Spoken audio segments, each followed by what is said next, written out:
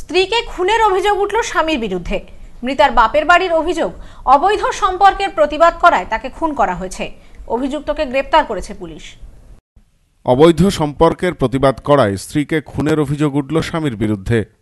ঘটনাটি ঘটেছে অশোকনগর থানার কচুয়ার সুকান্ত সরণী এলাকায়।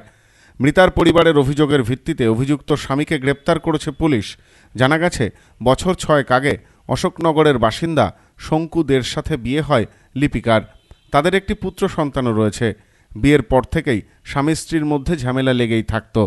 অভিযোগ, শঙ্কুর সাথে তার বৌদির অবৈধ সম্পর্ক ছিল, তা নিয়েই ঝামেলা। প্রতিবাদ করলেই লিপিকাকে মারধর করা হতো বলে অভিযোগ। এক মাস আগে শঙ্কুর দিদি জামাইবাবু ঝামেলা মেটাতে এলে তাদেরকেও অপমান করে বাড়ি থেকে বের করে দেওয়া হয়। অপমানে গায়ে আগুন দিয়ে আত্মঘাতী হয় দিদি। ঘটনার এক মাসের মধ্যেই লিপিকার মৃত্যুর ঘটনা। বৃহস্পতিবার এলাকার লোকের কাছ থেকে খবর পেয়ে ছুটে যান লিপিকার বাপের বাড়ির লোকেরা। হাসপাতালে তাকে মৃত অবস্থায় দেখতে পান। ঘটনায় চারজনের নামে অভিযোগ দায়ের হয়েছে। মৃতদেহটি ময়না তদন্তে পাঠিয়ে ঘটনার তদন্ত শুরু করেছে পুলিশ।